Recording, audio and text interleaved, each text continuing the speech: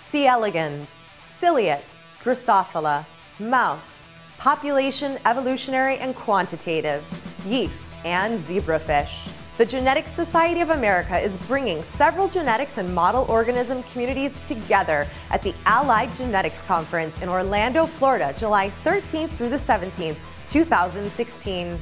At TAGC 2016, each community will have their individual meeting, but also the opportunity to attend plenary sessions that cut across systems. I think of it as sort of the Olympics of genetics.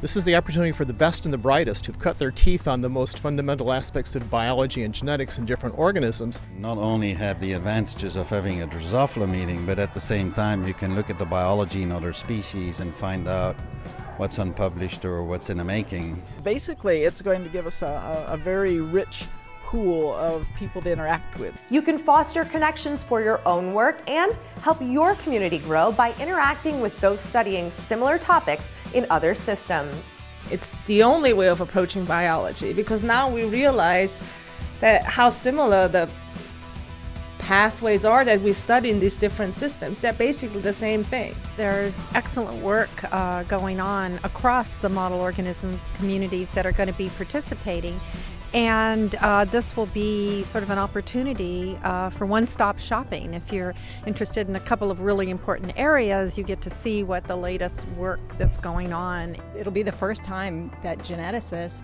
from a wide variety of fields are actually in the same space to talk about their work. And trainees will gain a better understanding of genetics as a whole. And especially for the students and, and postdocs who, you know, are they're at a stage in their career where they're trying to decide what are they going to do next, and this will expose them to a much broader range of research directions and topics. The Allied Genetics Conference will keep you on the cutting edge of genetics.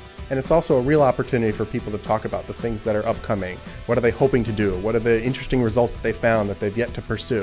Things that are not ready for publication yet. The main benefit that we're all going to get out of this meeting is kind of a cross pollination of people's ideas. We've all been having great meetings for many years now in our individual communities, but bringing us all together will allow us to kind of bounce ideas off each other and get insights from other communities. The Allied Conference strikes me as a golden opportunity to really maximize those chance encounters in the hallway, and who knows what great ideas will be sparked.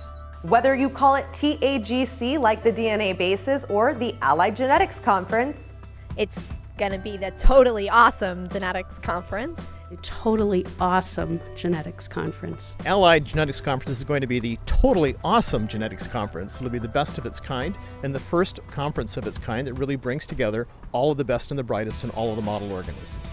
You'll want to be there on July 13th through the 17th, 2016 in sunny Orlando, Florida.